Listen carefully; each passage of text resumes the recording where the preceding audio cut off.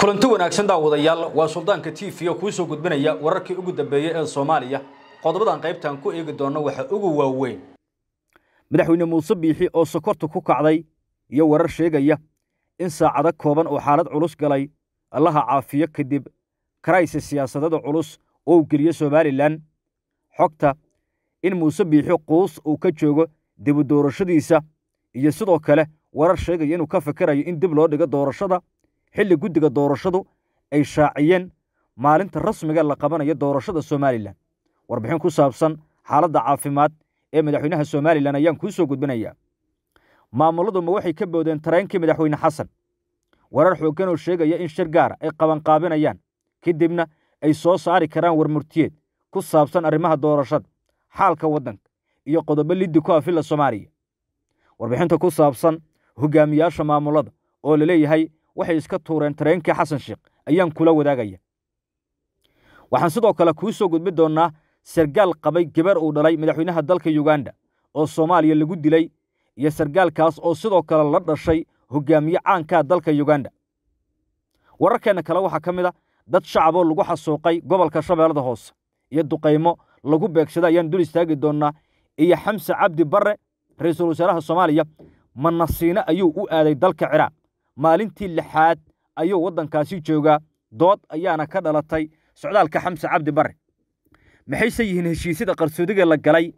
Cidduu la kulmay iyo wararkii ugu dambeeyey safarkiisa ayaan dul istaagi doonnaa qodobadaas ayaan ku faahfaahin doonnaa daawadayaal bogga suldaanka t v sheergaraya wararkan oo gaadhsiiya saaxiibada soomaaliyeed. Waad ku mahadsantihiin daawashada iyo la jaanqaadka wararkeenna soo dhowaada. Qodobkeenna koowaad ayaan ku bilaabaya madaxweynaha somalilan muuse biixi cabdi ayaa la leeyahay maalintii waa habeen hore ayay ku kacda sokortu. Xaaladdiis ayaana markaas aad u korortay. Saacado kooban ayuu xaalad culus galay madaxweynaha somalilan. Siday muujinayaan ilowaraedyadu madaxweyne muuse biixi ayaa shir gaara markuu ka soo baxay waxau yimid gurigiisa ku dhex yaalla madaxtooyada. Waxaana la leeyahay waxaa ku kacay sokorta arrintaas ayaa noqota arrin culaysla dhakhaatiirta gaarka ee madaxweynuhu uu leeyahay ayaana guriga ugu tegey waxaana la leeyahay waa lala tacaalay wuuna fiican yahay hadda xaaladdiisa caafimaad laakiin saacado kooban ayuu galay xaalad culus. Madaxweyne muuse biixe ayaa ka mid a madaxweyneyaasha qaba sokorta markay ku kacdana culays weyn dareemaya madaxweynaha somalilan ayaa la soo in muddooyinkii dambe uu markaas la kulmayey crisis aad u weyn oo siyaasadeed taas ayaana ka dhigan inuu gaaray heer ay ku kacdo sokortu muuse biixe ayaa la soo warinayaa in laba saacadood gudahood uu miir daboolnaa markii dhakhaatiirtu ay la tacaaleen uu markaasi fiicnaaday balse hadda uu fiican yahay. Haddaba madaxweyne muuse muddooyinkii dambe wuxuu la kulmayey arrimo culeyskooda leh taasoo ka dhigan in si weyn ee dhinacyo kala duwan uu ugala kulmay ee culays uga yimid sida heshiiskii badda gudaha somalilan arrimaha doorashada dagaalkii laasacaanood iyo sidoo kale dhinacyo kala duwan. Taas ayaana sababtay in madaxweyne muuse ee maanta uu ka soo yeero war ku saabsan etoobiya xitaa wayna shirqoolaysaa arrintaasi ayaa loo arkaa mid culayskeeda leh. Lama oga xaalku meeshuu ku biyo shuba doono. Xukuumadda muuse biixi waxay hore u sheegtay in dowladda soomaaliya ay damacsan tahay go'aanno xasaasiya oo ka dhashay heshiiska badda oo maamulkoodu la galay etoobiya taasay kashafeen in dowladda soomaaliya ay doonayso in badda iyadu ay bixiso balse laga hor istaagay somalilan xukuumadda muuse biixi ayaa horey u sheegay in somalilan ay la galeen toddoba heshiis soomaaliya wax ka dhaqan galinaysan jirin haba yaraatee. Taas ayaa ka dhigan in dooddu ay wejiyo badan leedahay. Laga soo bilaabo muddo kororsiga uu samey madaxweyne muuse laga xujiyey dagaalkii laascaanood arrinta heshiiska etoobiya iyo sidoo kale go'aannada gudaha somalilan ayaa la soo warinayaa inuu muuse ku lumiyey dhibco siyaasadeed oo waaweyn. Maantana uu gaaray heer markii arrimahaasi looga sheekeeyo ay ku kacdo sokortu madaxweynaha somalilan ee muddoxiliedkiisu horey u dhammaaday balse muddo kororsiga ku jooga ayaa la soo warinayaa inuu qorshaynayaba dagaallo kale inuu bilaabo si heshiiska dib looga dhigo.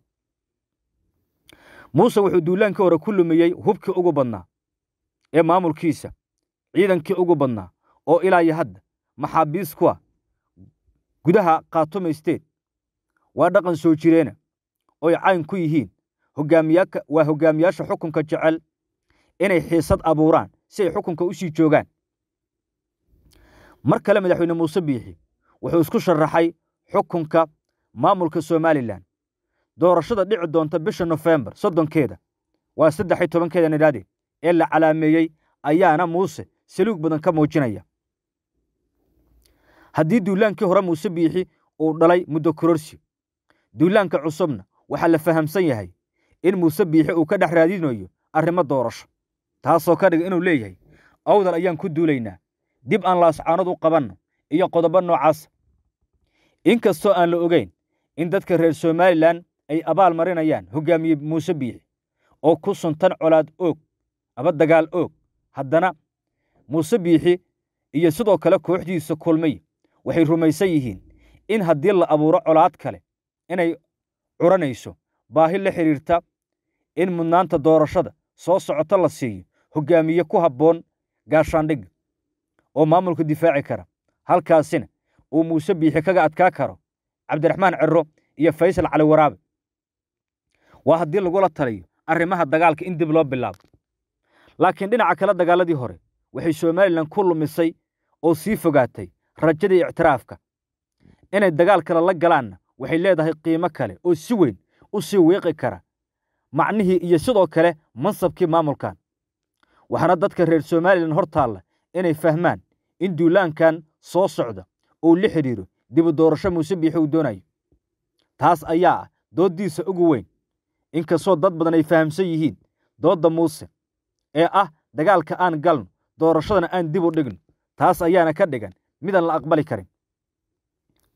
Heshiiskii etoobiya ay la gasho somalilan wuxuu qiimo tiray oo guud ahaanba ay somalilan noqotay mid dhexda u gasha buuro waaweyn oo aysan ka dhex bixi karin haddii etoobiya ay heshiis la gasho soomaaliyana rajada muuse uu ka filayo meeshaas waa mid aad u liidata taasoo ka dhigan in etoobiya qudheedu ay doonayso inay ku saantirato somalilan waxayna u aragtaa ajendahaasi inuu yahay ajento u gaara ooy ku markaasi fuuli karto heshiiska badda kuna fuli kartaba. Waxay ku soo kordha daawadayaal waan eegi doonnaa wararkeena kalean eegaynaa maamul goboleedyaduma waxay ka boodeen tareenkii madaxweyne xasan sheekh maxamuud. Maxaase ka jira inay qabanqaabinayaan shir gaara oo weyn oo ay uga hadli doonaan masiirka ummadda iyo sidoo kale ajendayaal kaloo waaweyn. Wararka soo baxaya ayaa waxay muujinayaan in hoggaamiyaasha maamul goboleedyadu ay ka boodeen sida ugu badan tareenkii madaxweyne xasan taasoo loo arka caqabad weyn iyo culays aan la siyaadsan karin marka la qiimeeyo doodda miiska saaran axmed madoobe lafta gareen qoorqoor iyo cali guudlaawe ayaa la soo warinayaa in saddexdii habeen ee la soo dhaafay ay yeesheen kulamo qadka telefoonka. Ajendaha dhabtay ka wada hadleen lama oga. Waxaase soo baxaya warar xoogganoo sheegaya in arrintaasi ay tahay mid culayskeeda leh. Bisha agoostena soo aadan ilaa bisha sebtembar ee sannadkan sida xogtu sheegayso laba dowlad goboleed ayaa qabanaya doorasho isku karisa waa jubbaland iyo koonfur galbeed. Bisha agoosta ayay u badan taha weliba taasoo filla soomaaliya ku noqotay caqabad aad u weyn. Siday muujinayaan wararku hoggaamiyaashu waxay iminka tuureen kaarkii iyaga iyo xasan sheekh ku heshiiyeen. Iyo heshiiskii ahaa in doorasho la wada qabto shir agoosta la isugu yimaado la jiheeyo arrimaha doorashada arrintaas ayaa noqotay mid culayskeeda leh wararka hadda soo baxaya siday muujinayaan axmedoobe iyo lafta gareen. Waxaa ka go'an doorasho inay galaan bisha agoosto ilaa sebtembar xilligaasna ay go'aamiyaan dibu doorashadooda iyo inay ku soo laabteen hoggaanka. Lama oga meesha ku biyashoba doonta arrintan. Waxaase soo baxaya dooddaas inay tahay mid sii xoogaysanaysa hadda waxay sidoo kale ku qalqaalinayaan ayaa la leeyahay. Ee lafta gareen aan idhaahdo cali guudlaawiye sidoo kale ee qoorqoor inay soo raacaan go'aankooda.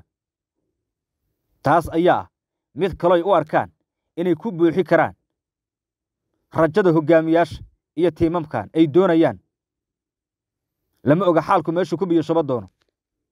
Waxaase soo baxaya arrintaas inay tahay mid sii xoogaysanaysa hadda oo ka dhigan in hoggaamiyaashu beri ka maalin ay gaari karaan ajendayaal waaweyn oo ay doorashadooda uga shaqay karaan dibna kursigan ugu soo laaban karaan. Filla soomaaliya culeys weyn ayay ku taha arrintan. Waxaana la soo warinayaa in arrintan ay kala shaqaynayaan dalal arrimaha soomaaliya culeys weyn kuwa kuwaasoo u arka inay xoojiyaan rajadooda iyo rabitaankooda. Taasi waa dood aad u weyn. Iyo sidoo kale dagaal siyaasadeed oo culus. Lama oga go'aanka filla soomaaliya ka qaadan doonto. Dhanka kale mucaaradka koonfur galbeed ayaa la soo warinayaa in labadii maalmood ee la soo dhaafay ay la shirayeen saraakiil ciidan.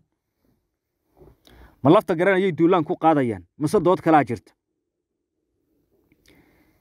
Xubno ka mida ee mucaaradka koonfur galbeed weliba kuwa ugu tunka weyn ayaa bilaabay inay shiro culus ka bilaabaan magaalada muqdisho ooy la shiraan saraakiil ciidan taliyaal ka soo jeeda koonfur galbeed.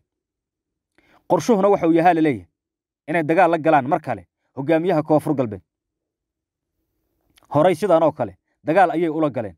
Kumana guulaysan oo filla soomaaliya ayaa faragelisay. Madaxweyne xasan sheekh iyo guddoomiye aadan madoobe ayaana markhaati ka noqday heshiiskii lagu gaaray magaalada baydhabo.